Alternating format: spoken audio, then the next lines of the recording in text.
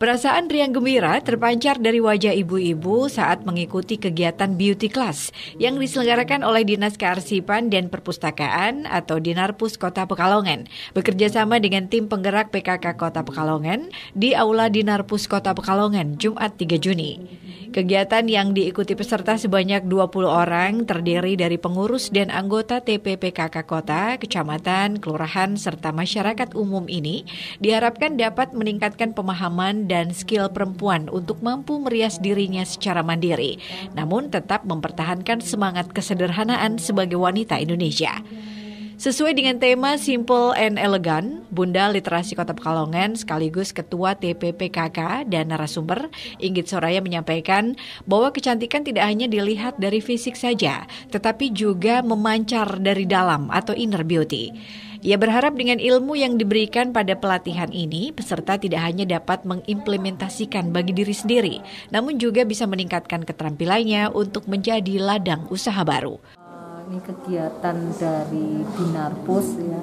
Nah, kemarin Dinarpus juga sudah mengadakan uh, pelatihan pemulasaran jenazah kemarin sudah terlaksana dan uh, pada hari ini uh, pelatihan beauty class ini juga uh, bersinergi mengajak tim gerak PKK kota uh, untuk uh, baik saya uh, sebagai narasumber uh, ada Bu Nimuk juga uh, sekretarisnya juga narasumber lalu juga ada dari Wardah. Dan uh, tadi juga sudah dibuka oleh Bapak Kepala Dinas Kearsipan dan Perpustakaan. Uh, kegiatan ini uh, tujuannya juga uh, untuk uh, memberikan uh, skill ya kepada ibu-ibu tentunya untuk merawat diri.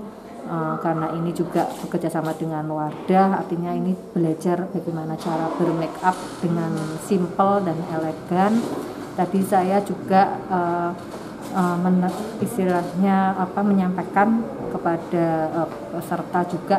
Jadi kecantikan itu tidak hanya dengan uh, kita menutup dengan make up dengan kecantikan fisik saja tetapi juga uh, kita sampaikan juga kecantikan itu juga dengan dari dalam yaitu uh, kecerdasan brand dan behavior itu tadi attitude ya mudah-mudahan uh, dengan uh, diselenggarakan kegiatan ini ibu-ibu ini bisa uh, apa tampil lebih lebih baik lagi dalam uh, bermake up. Mungkin tidak hanya untuk diri sendiri juga tetapi juga bisa uh, untuk orang lain. Artinya untuk uh, skill uh, sebagai uh, mahir di rias ini juga bisa uh, dimanfaatkan juga untuk menambah penghasilan misalnya untuk pekerjaan sebagai sekarang banyak juga MUA MUA ini mudah-mudahan dari bekal ini mungkin ini sebagai uh, penyemangat awal ya nantinya bisa dimanfaatkan dengan baik.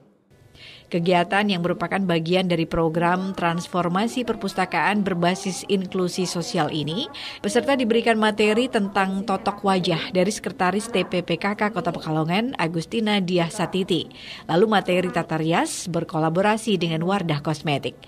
Irma, 35 tahun, mengaku sangat beruntung bisa menjadi salah satu peserta pelatihan beauty class.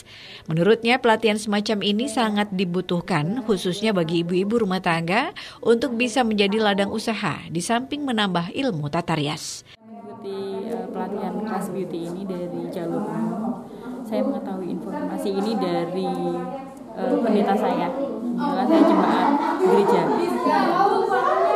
Tanggapannya seperti apa kak dengan adanya pelatihan beauty class ya? Ini bagus banget ya buat uh, kita yang mungkin ibu rumah tangga yang bisa memanfaatkan pelatihan ini untuk menjadi ladang usaha, terutama uh, nambah ilmu untuk skill kita uh, gimana uh, untuk pemberdayaan masyarakat juga sih termasuknya ya ini ya untuk ibu rumah tangga yang mungkin uh, mau usaha tapi tanpa perlu uh, uh, menyisakan waktu yang banyak bisa melalui uh, pelatihan beauty class ini dan juga uh, dan juga ibu-ibu rumah tangga yang mungkin jarang uh, jarang bermake up, jarang merias diri dengan adanya pelatihan ini juga ibu ibu jadi tahu gimana caranya step-stepnya uh, bagaimana mempercantik diri. Boleh tahu uh, umurnya berapa kak? Oh, saya tiga. Kintana Agna, Batik TV melaporkan.